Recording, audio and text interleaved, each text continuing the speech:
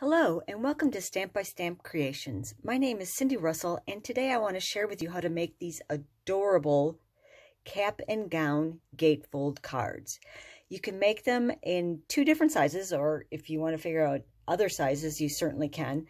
But this one, this larger one is going to fit in a six and a quarter well, the card itself is six and a quarter by four and a quarter, so you would need to use the large Memories and More envelope for the card. Whereas I, I shrunk it down with this little blue one so that it would fit in a regular sized envelope. And that's the one I'm going to show you today. So what you need to start with is here are all the pieces and parts that you're going to need. You need a piece that's, and I'm not sure if you can uh, see all these, but I've got an, another sheet that's got the dimensions on them. But you're going to have a piece that's three and three quarter by seven inches, and you're going to score it from each end at one and three quarter inches.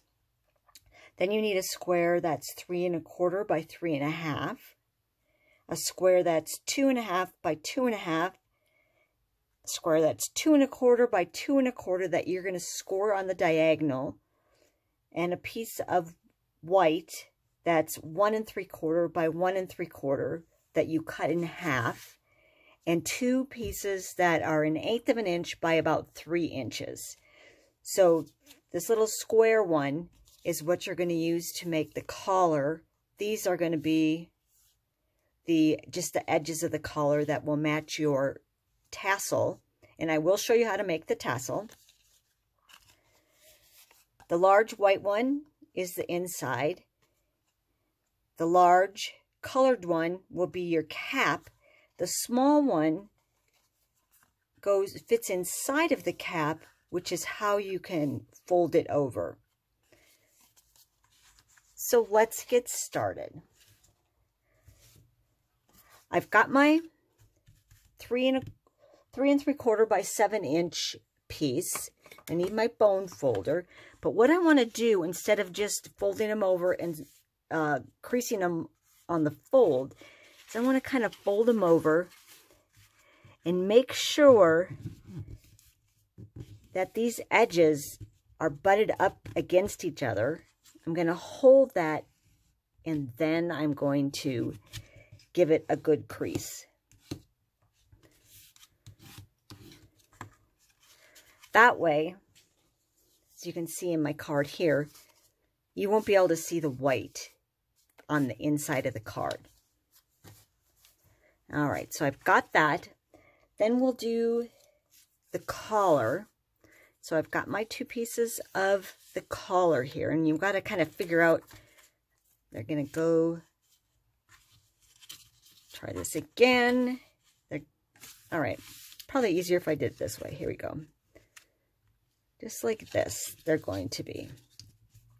So you want to make sure you know which way they're going to go on there so that you know where to glue your edges. So I am going to use my liquid glue and I just want to take some little tiny, you don't want a lot, and I'm going to go ahead and line it up on that edge. And I'm going to pick it up and make sure that I get it on there straight. And the reason you want to make sure that you get it straight is so that when it's on there, you get this nice mitered look where they meet. All right, so then I'm going to do that again. I'm a little off camera here, sorry. Couple little bit of glue there. Oops. Now that I've totally messed everything up. Put it on there. And you want a little overhang so that you can trim it. Check the other side. Looks good. And I'm going to let that dry for just a second before I trim them off and put them on my card. But the next, I this is the smaller square piece. That's going to be the piece that folds over. So I'm, I've already scored it diagonally.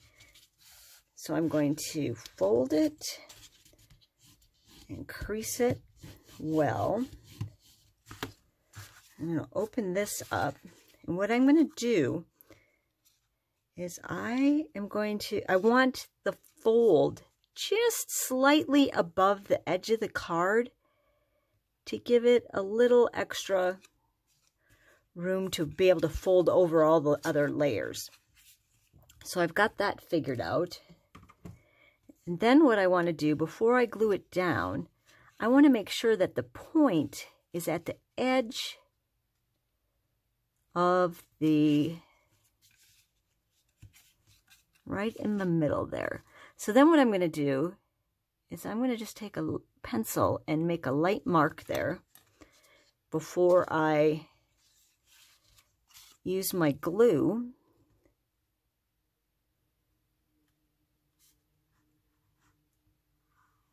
And when you use liquid glue, you don't want to get too terribly close to the edges like I did just there, or it's going to go all over the place. But then I'm going to take this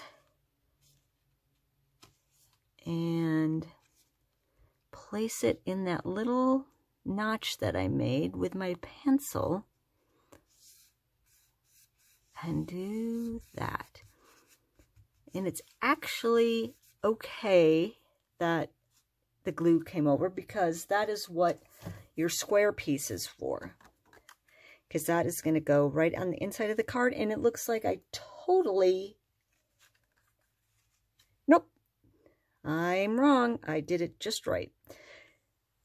So what I would do is, I forgot to get my stamps out, but I used the Happy Thoughts stamp set, the congratulations from it, for the inside of the card, as you can see here. And I, I want to tell you that if you like this stamp set, it is not carried over into the 21-22 annual catalog, but it is available through June when the uh, January to June mini catalog goes away. So if you like it, you might want to grab that. Otherwise, uh, there's probably plenty of other stamp sets that have congratulations on it, but that's the one I used for my cards. So since I've made a mess here, I'm going to go ahead and just put some glue on here. And the reason I'm using the liquid glue today is for some of these pieces that I need to finagle around and make sure that they, I can move them into the right positions. So there you have the inside of your card. And while I let that dry, I will go back to these. And what I want to do is I like to use, go on the back side when I trim them so that I can use my scissors right up against the edge. And these will work with your, uh, your little snips would work well with this too. I just had these large scissors out. Get that out of the way. Trim this other side.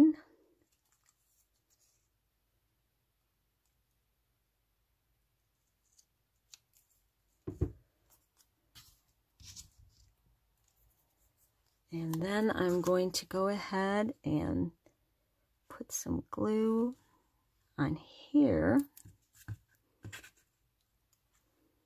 Turn it over. We want this side because we want it to meet in the bottom. And then what I do is I just, again, I kind of butt things up in the corner. And we can see that this little piece here kind of uh, overlaps. And once it's dry, I can trim that also. Then I will do this side. Uh, I got a lot of glue on there. Hopefully it won't smear. So I'm going to place that there. And again, line it up right along that edge. And we can see that I did a pretty good job. I, you can see the white a little bit, but I mean, it's not that big a deal. And there we go. Get that corner good. Then what I'll do is again turn it over. Just snip that off.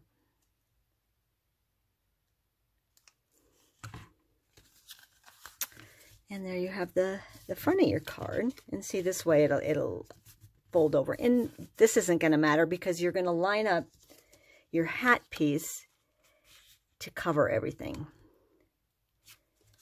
So what I want to do now is I'm going to turn this over. Put my glue here. But then I want to close up my card,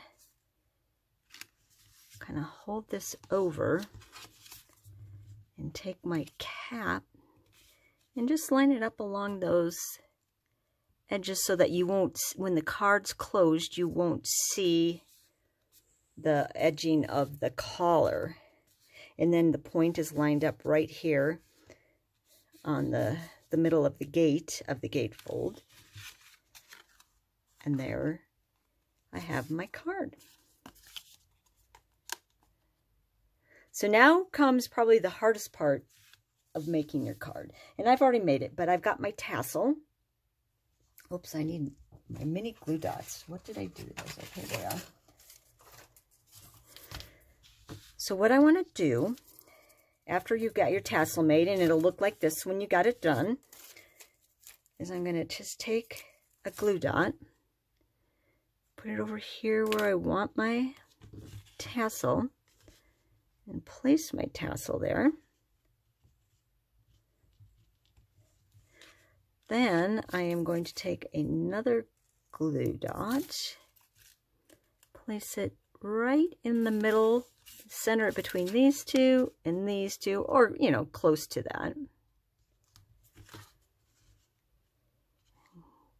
Come over here, press that down. When, then what I like to do is I like to take another glue dot and put it right on top, kind of just sandwich that embroidery floss right in there and then I will trim that.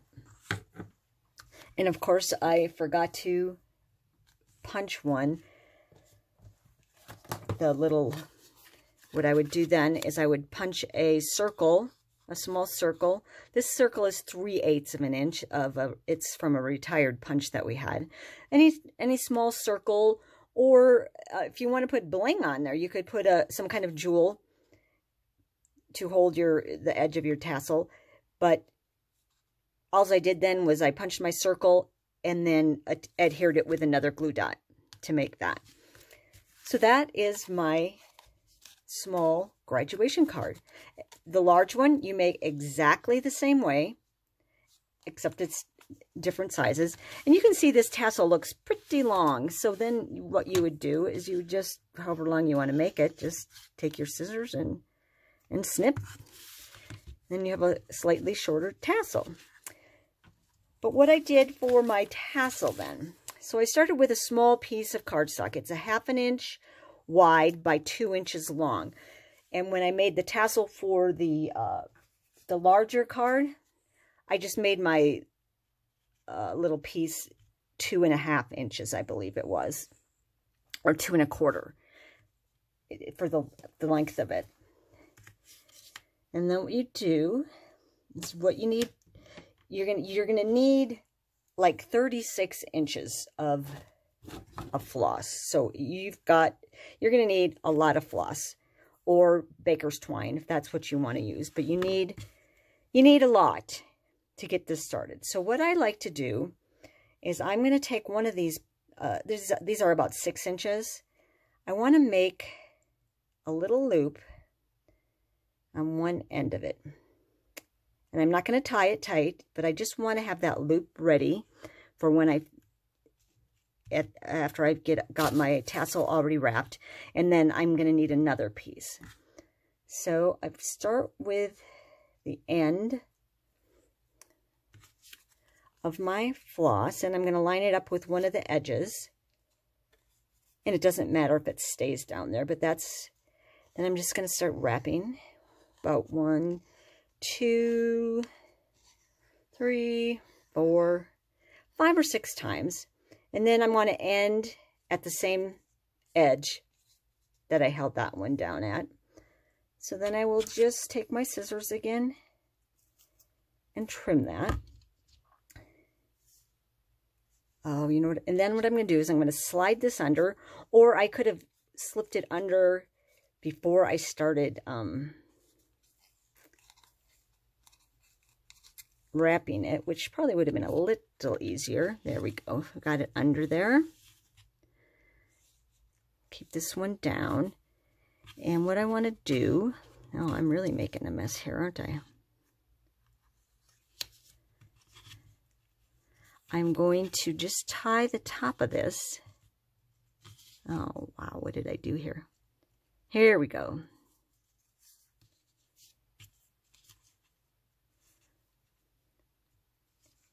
I'm just going to tie the top of that loosely.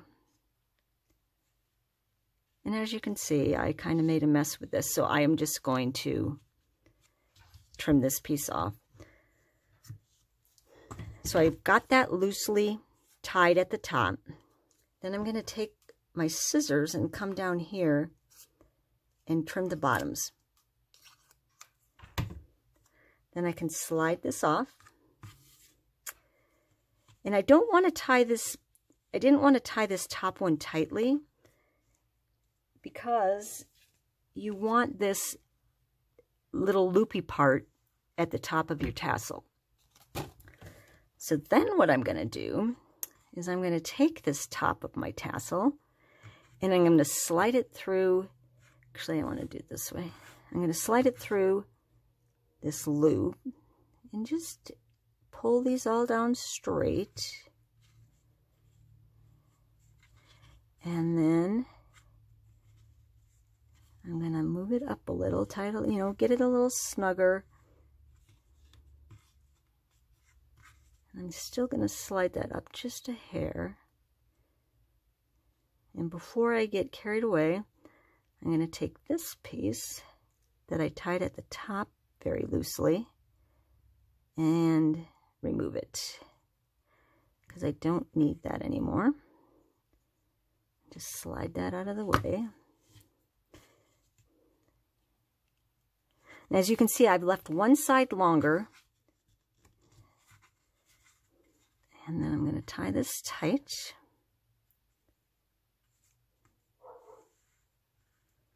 Make sure you get it in a knot. Might want to tie it, oops, tie it a couple times. And then you trim just the short side. Oops.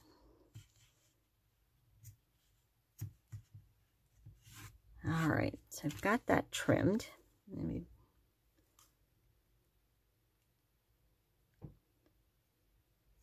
there.